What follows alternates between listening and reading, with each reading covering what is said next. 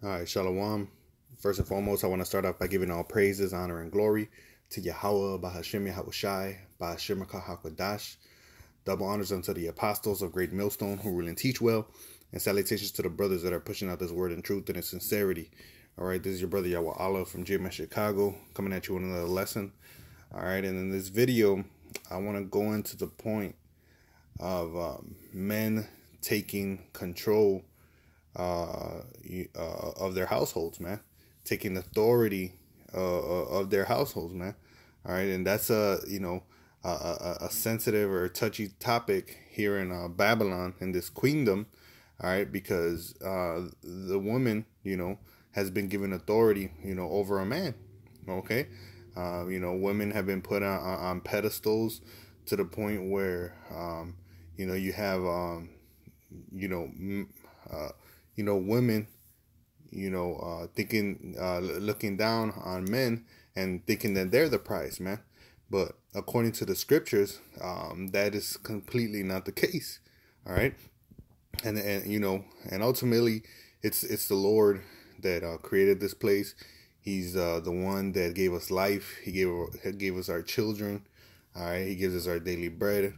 All right, and he's gonna come back and and, and uh, execute and establish his judgment, you know, and he's going to put his order upon the world. All right. And he's going to, um, you know, come and save those that were trying to seek his, his vibration. All right. So this goes for, for men, you know, uh, going and, uh, you know, um, uh, uh and fighting for, for their, uh, for their authority, you know, uh, in their households or with women in general. All right. And for the women, you know, to not uh, exert their authority over a man. Okay? Because it's all through the scriptures, and Lord willing, you know, I'm gonna try to uh, go through these scriptures. Uh, they'll be, uh, you know, quick and edifying. All right. This is uh, the book of First Corinthians, chapter 11 and verse 8. It says, "For the man is not of the woman, but the woman of the man. Neither was the man created for the woman, but the woman for the man." All right, so straight out the Bible in the New Testament, you know, everybody likes to call on so, excuse me, on so-called Jesus, right? Um, and this is after after his coming, all right, after his teachings, all right. Uh, um, you know, the the scriptures continue to to push forward the vib- vibration of a, a of a man being over a woman. Actually, if we read up, um, we read I'm gonna start at verse one. It says, Be ye followers of followers of me, even as I also am of Hamashiach. Alright, the anointed. It says, For I praise you, brethren, that ye remember me in all things and keep the ordinances as I deliver them to you. But I have I will have you know that the head of every man is Hamashiach, and the head of the woman is the man and the head of Hamashiach is God. All right, so there's an order in this thing. All right, so you know, uh, this, you know, so straight out the bat in the New Testament, it lets you know the order. Starting from out top is the he- the heavenly Father, then His anointed Son. All right, then it's men, and then it's women. All right, as we read here in verse nine, it says that the woman was created for the man, not the man uh, uh, uh, for the women. All right, and that's what a lot of women nowadays have, uh, um, you know, uh, messed up in their head is that they think that their man is is theirs. It's like that's my, like that's that uh, that they say that's my man in the sense of him being your property, and you the one tell him you know what to do, what to get you, you know, which you know a, a man according to the scriptures. Um, you know, uh, you're just not supposed to uh, diminish food or raiment, and you gotta, uh, uh, you know, give them their um, their due benevolence, which, um, you know, that comes in in, uh, in sexual relations, right?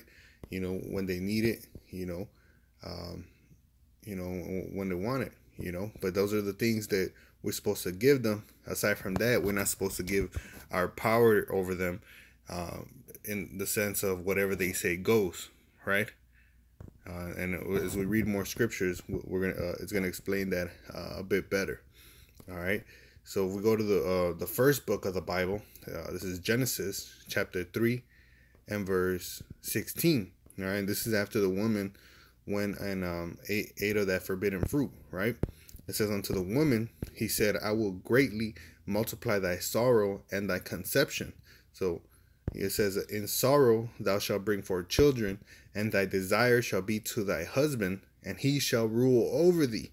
All right, so that's the righteous order, is that the the, the woman, you know, uh, they desire their, their man. All right, they, they be after his heart, which, you know, a lot of women are, are naturally like this. Um, you know, if uh, if uh, if the man is a basketball player, the woman's gonna love basketball. You know, if uh, the man's a Muslim, uh, the woman's gonna be a Muslim. You know, uh, you know, so forth and so forth, man. Uh, you know, that's that's naturally how how it is, and and the man got to rule over them, man. Uh, you know, they can't be, you know, um, uh, you know, uh, tucking tucking their tail, you know, behind behind their butts, man. You know, they have to uh, uh, uh, make the decisions in the family, you know. And uh, you know, that's not to say that you know the woman doesn't have no say.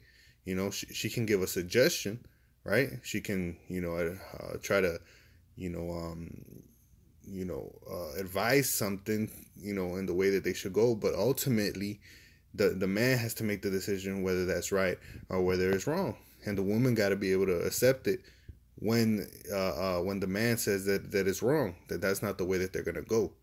All right. Um, you know, but again, you know, sometimes they might have a good idea, you know, but uh, again, it's up to the man to say that, you know, okay, we're gonna do that. All right. But in this society, that's not how it is, you know. So you know, um, this you know this uh, this place called uh, Mystery Babylon. All right, Babylon meaning confusion. All right, so everything's out of course, man. And you know, with the coming of the Lord, He says He's coming back with fire. All right. So when He comes back, we want to be in His vibration, man. We want to be in under His order. All right. So so you know we so then He won't have to correct you, you know, to get an order then, right? And at that point, it's gonna be too late, man. All right. Uh, that that fire is gonna come for you. All right. Those that that that um despise the ways of the Lord you know they're gonna get judged, man. All right, and this is just one topic, you know, but but it's very important that a man should have should have uh, authority over his family, man, and not yield it, you know, uh, uh to his woman or his children. All right, because that's a lot of families are like that too. They'll do whatever the children want, you know, because they're crying. You know, either their woman is crying or, or their or their uh, sons and daughters are crying. They they give heed, you know, and and and just go after some folly, man. You know, just just for the sake of um, you know, uh, uh, um, you know, pleasing them. All right. But at the end of the day, you know, they can suggest things, but the man got to be the one with the authority to say yes or no. Okay. So I'm gonna keep going. This First Peter chapter three, um, in verse five. It says, "Now after this manner in the old times, the holy women also who trusted in God adorned themselves being in subjection unto their own husbands, man. And that's part of trusting the Most High too, man. All right, trusting that that that their, that their husband, you know, which a woman should be looking for a man of the Lord, man, because that's ultimately how they're gonna get protection. The scripture says they're gonna be ch- uh, saved by childbearing. All right, and and it, uh, and it talks to the to the men in Acts. It says uh, how they should know if they should save themselves and their families, man. All right, so the woman's gonna get saved through the man. They should be looking for a man. Uh, uh, uh, uh the scriptures. All right, and you know, and if they're already with men, you know, just let let that woman get right, and you know, pray into the Most High, fast, do what she got to do, and and maybe her man will wake up too, you know, and then and then ultimately through her uh, conversation and character, you know, uh, um, you know, uh, will save her husband, man by having him repent and come into the truth by seeing her good character and good works all right? But um you know uh, but that's the thing uh, going back to this point uh, you know they gotta tr- uh, that's the thing of, of, trusting the most high all right? Whether they're gonna be protected still or do they feel like they need to take uh, hands control into their own hands man all right? Which that's what a lot of women do nowadays you know? They self-justify themselves and take matters into their own hands you know? When it shouldn't be so all right? Verse 6 look at even as sarah obeyed abraham calling him lord All right, which one? Which woman nowadays will call their their man Lord, man? You know, it, it, it seems like it's from another world, and truly it is, man. Because this world is, is um, it's strange, man. This, you know, this place is completely ass backwards. All right, that's why the Lord's coming back with fire. He's to hit the reset button on this place, man. All right, shit gonna be, uh, things are gonna be set up anew. All right. It says, Whose daughters ye are, as long as ye do well, and are not afraid with any amazement. It says, Likewise, ye, husbands dwell with them according to knowledge, giving honor unto the wife as unto the weaker vessel. And that's the point, man. A lot of women, you know, that they, they'll get emotional and, and make decisions, rash decisions out, out of their, uh, you know, um, their emotions, man. All right, Be, being weaker vessels, man. All right, you know, physically uh, they are as well too. You know, you know, as as a majority, you know, women have a, a, a you know, they're more feeble uh, physically, man. All right. It says, and being heirs together of the grace of life, that your prayers be not hindered, man. So you got to give, you know, um, you know, honor unto your wife uh, as unto the weaker vessel. Like, um, you know, also understanding that you know they're not gonna be perfect. So, you know, um, you know you show a, a, certain level of mercy when they go off you know? Like uh, you know scripture talk about not being a lion in your own home like constantly like you know um, you know rebuking for every little uh, thing that they do wrong you know? Of course you're gonna you know uh, correct your woman and, and, and show her where she's going off but you know uh, if uh, you know you, you tell us it's a demon that you know she's struggling with then you show her mercy, but continue to push her in the right direction. You know, um, you know, because they're a weaker vessel, man. You know, which um, which shows you know uh, that the man should be over her. You know, filtering her her thought process, filtering her decision making. You know, to lead so that you can lead them in the right way. All right, which which uh you know that in turn means that you have to be on point um, as well to be able to to advise uh, correctly, man. All right, but the but the women they got to be faithful, man, trusting the Most High. You know, uh, that that um that, that the Most High not lead them into the way of destruction, man. All right, let's keep going. Um, you know, Sirach chapter seven and verse twenty-five. It says, "I applied my heart to know and to search and to seek out wisdom." and the reason of things, and to know the wickedness of folly, even of foolishness and madness. All right. So, you know, this is King Solomon, you know, um, uh, speaking about wisdom, like knowing the do how of all things, correct decision making, making, reasoning, all right, wisdom, all right, and even, even the folly he looked at. In verse 20c, look, look at what he found. It says, And I find more bitter than death the woman whose heart is snares and nets. If you look at the word snare, it means um, a hunting implement a net, right? Give me a second. Salaki, I had to get the door. But yeah, if we go into the word um, snares, it says uh, a hunting implement, uh, a net, a trap, pretty much, man. All right, uh, and, and the net, you know, uh, same thing, man. You know, uh, a net, you know, pretty much talking about traps, man. It says, "Who who s whoso pleases God shall escape from her, but the sinner shall be taken by by her." And that's what uh, women, a lot of women, you know, uh, uh, uh, the majority of women, act, how they act today, man. Their their heart, which you go into the word heart, it's the Hebrew word lab, which means their mind. All right, their their inner their inner uh, being, right? You know, their their, their mind. Um, and what do women do? They um, you know they uh they're highly manipulative, man.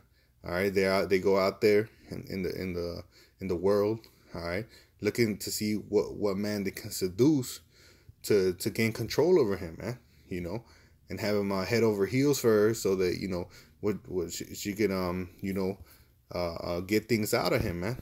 You know, and and, and um and that's not the structure that a, a wholesome uh, relationship should be in, man. You know, a, man shouldn't be, um, you know, at the drop of a dime, you know, ready, you know, to do everything and anything for for their woman, man. No, they got to filter it out through uh, the spirit and power of How Yahweh Bashim Shai, whether the things uh, uh, that you want, uh, you know, are correct, man. All right. You know, and he got to have that authority. So I'm gonna keep going. It says, uh, so he found that uh, in the folly, the folly and the foolishness tip but seeking wisdom, verse 27, it says, Behold, this I have found, saith the preacher, counting one by one to find out the account, which yet my soul seeketh, but I find not. One man among a thousand have I found, but a woman among those have I not found. So the rate of, of, of you know, of a woman, you know, holding some type of, of knowledge or having some type of understanding, you know, is more than one in a thousand, man. All right which we, we read like sarah you know she she was uh showing a good character and calling her man lord. All right excuse me. So like you had to take a call you know saying trying to get in, in the into this lesson. I'm keep finding it. There it goes again. All right so continuing on here um so we read verse 26 about the women you know nowadays they try to get control over their man. All right. Um, you know, being highly manipulative. All right. You know, that's a, that's a demon on these women, man. And, you know, these women gotta consciously give that shit up, man. All right. Um, you know, stop trying to have that authority over their man. All right. It says, um, so verse 27, Behold, this have I found, saith the preacher, counting one by one to find out the account, which yet my soul seeketh, but I find not. One man among a thousand have I found, but a woman among those have I not found. Lo, this only have I found that God had man made man upright, but they sought out many inventions. All right. So, you know, wisdom was given unto unto the men, uh, uh, you know, of the Most High, as it is written, "The flock of my pasture are men." All right, that's in Ezekiel. Um, you know, uh, the book of Ezekiel, right? Um, I want to say the 35th chapter, the 34th chapter. Um, you know, one of those. you know, you have to search for that. All right. But, you know, nevertheless, you know, um, the, the, the Lord does hold uh, a man to a higher standard. All right. And then if we go into the book of Sirach, chapter 33, is uh, verse 21, it says, For better it is, no, excuse me, uh, 19 it says give not thy son and wife all right so your wife your woman you're not supposed to give it says read again give not thy son and wife thy brother and friend power over thee while thou livest. And give not thy goods to another lest it repent thee and thou entreat for the same again. It says for as long as thou livest and has breath in thee give not thyself over to any you know and this is not saying and this is not saying for you to be unruly you know but what it's saying you know as a as a man standpoint is that you got to make your own decisions man. All right you can't just you know uh, give yourself your your your uh, ability or your power to uh, make a decision to anybody man to you know you you have to make your own decision um, at the end of the day. And if you're a man of the lord you know, which that's the whole duty of man is to seek the Lord and, and keep his commandments, then you're going to have to make those decisions based on uh, the law, statutes, and commandments and the spirit of the Most High, man. All right. So, you know, um, you know, brother in the faith, you know, he can be giving you counsel uh, coming, you know, from the scriptures that is of the spirit and is correct. And in those cases, of course, you're going to take it. Same thing with the son, if he's in the spirit, if the wife is in the spirit, or a friend if he's in the spirit, you know, but you have to make that conscious decision in your head, whether if it's right or it's wrong, you know. That's why you got to study to show yourself approved so that you can tell these things.